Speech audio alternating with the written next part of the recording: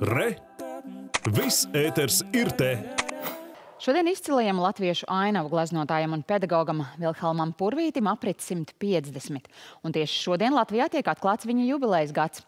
Pērn novembrī kļuva zināms, ka mūsu izcilā mākslinieka 150. gadskārta iekļauta UNESCO svinamo dienu kalendārā šajā gadā.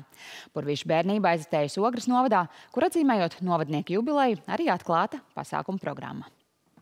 Ogrēniešu purvīti sauc par savējo, un 3. martā purvīša dzimšanas dienā tiek atklāta pasākuma programma pusgada garumā ar devīzi Satiec purvīti. Kāpēc purvīts un ogre? Jo tieši ogres novada Taurums pagastā ir purvīša dzimtās mājas vecjauši, kur viņš aizdīs savas dzīves pirmos 16 gadus. Es domāju, ka katrs Latvijas iedzīvotājs ir redzējis purvīša gleznu.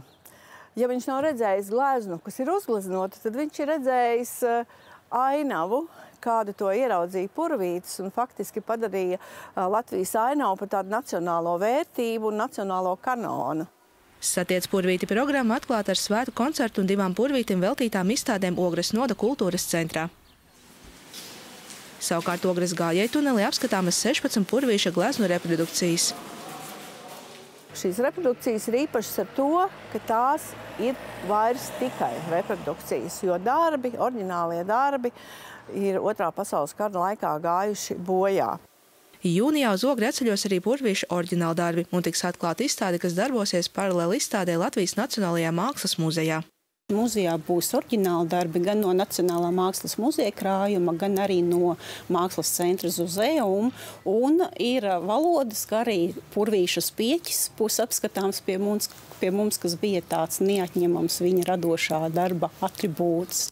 Pasākuma organizatori RTV atklāja, ka arvien meklē veidus, kā runāt par purvīti un ogri. Tāpēc pusgada garumā tiks organizēts gan glaznošanas meistarklases novadā, kā arī attīstīts purvītim veltīts turisma maršruts. Un šis maršruts galvenokārt vedīs pa Taurupes pagastu. Tāpat maršrutā mēs esam iekļāvuši vairākas ainaviski skaistas apkārtnes vietas.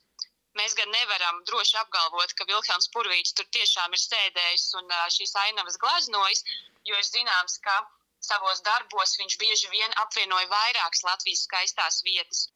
Savukārt skolām izstrādāt interaktīvas spēles attiec purvīti.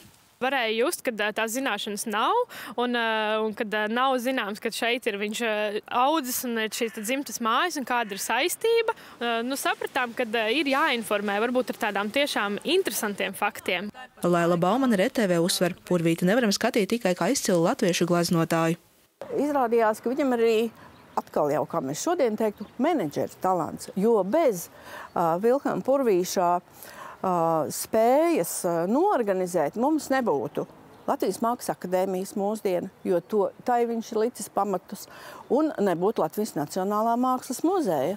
Par godu Vilhelma Purvīša jubilejai šokar no 18. līdz 2. naktī izgaismots tiks Ogres noda kultūras centra tornis ar Purvīša stāstu.